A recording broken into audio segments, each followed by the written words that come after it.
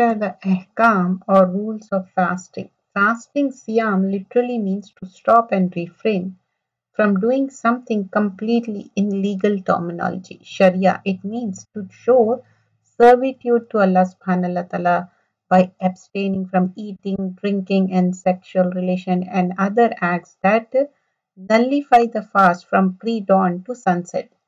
And it is mentioned in Surah Al-Baqarah 183 is fasting is mandatory and uh, for fasting what are the things what are what are the ahkamat? We are looking for that.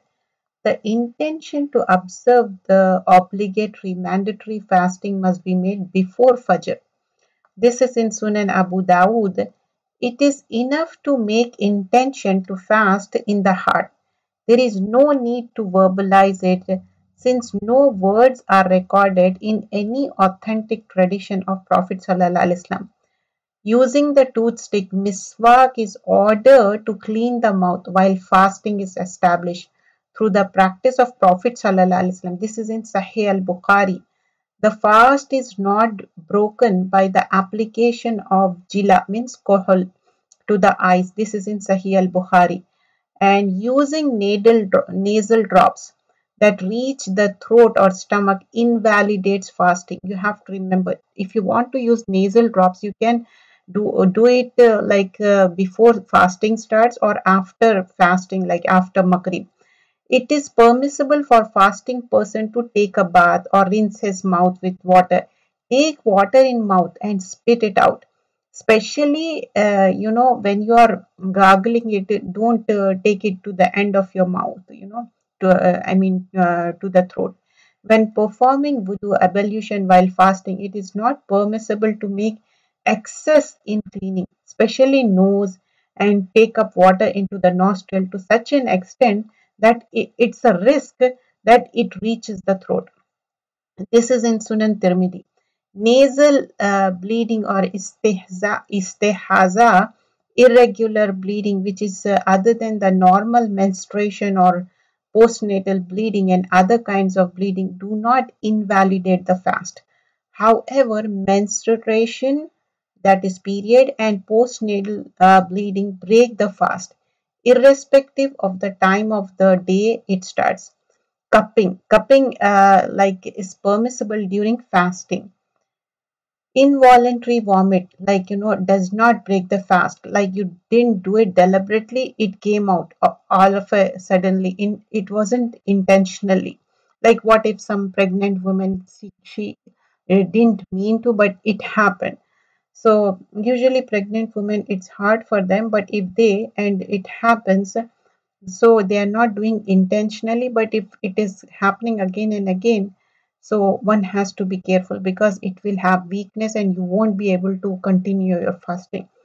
But uh, without any intention it is allowed once like you know you didn't even thought of and all of a sudden you vomited still you can continue the fasting. In case of uh, necessity food can be tasted.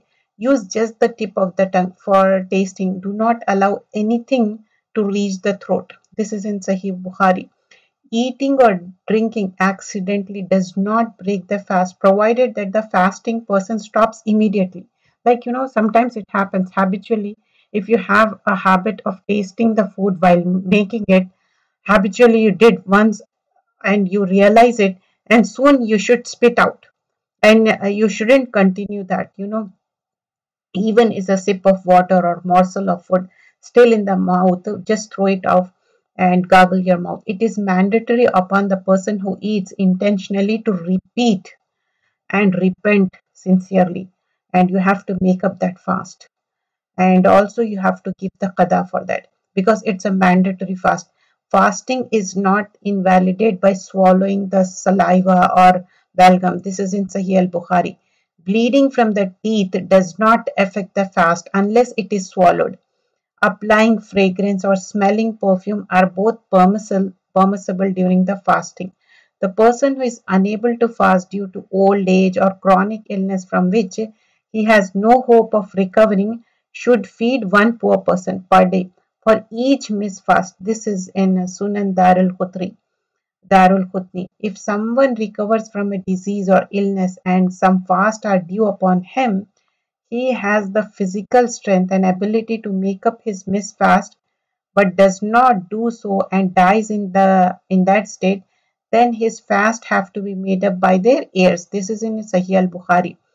It is permissible for a pregnant or nursing mother to leave fasting if it is too burdensome for her.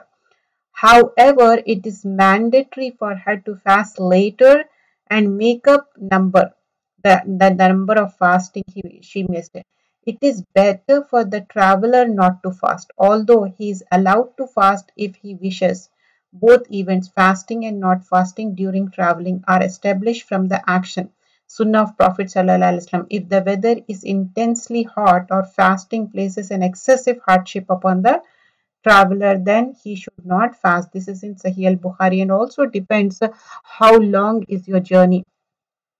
If a husband forces intercourse upon his wife, the fast of the wife should not in, invalidate. She neither has to repeat the fast nor is there any penalty on her.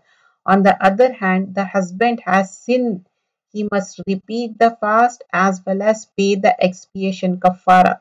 But the woman should stop that moment of time and tell this is a, a sinful act. One should not continue and uh, as if uh, when you are fasting, better you should avoid and you should stop because it's a sin, it's a kabira sin which is uh, like you know you have to uh, free a slave. If he does not have the ability to do so then he must fast continuously for two months.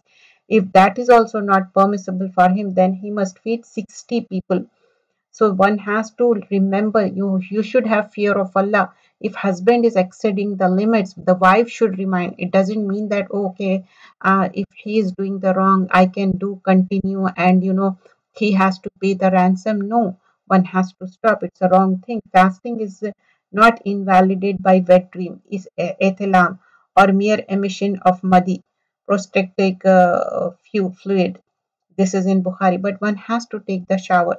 And uh, fasting, like you know, obligatory fast missed in Ramadan can be kept any time of the year.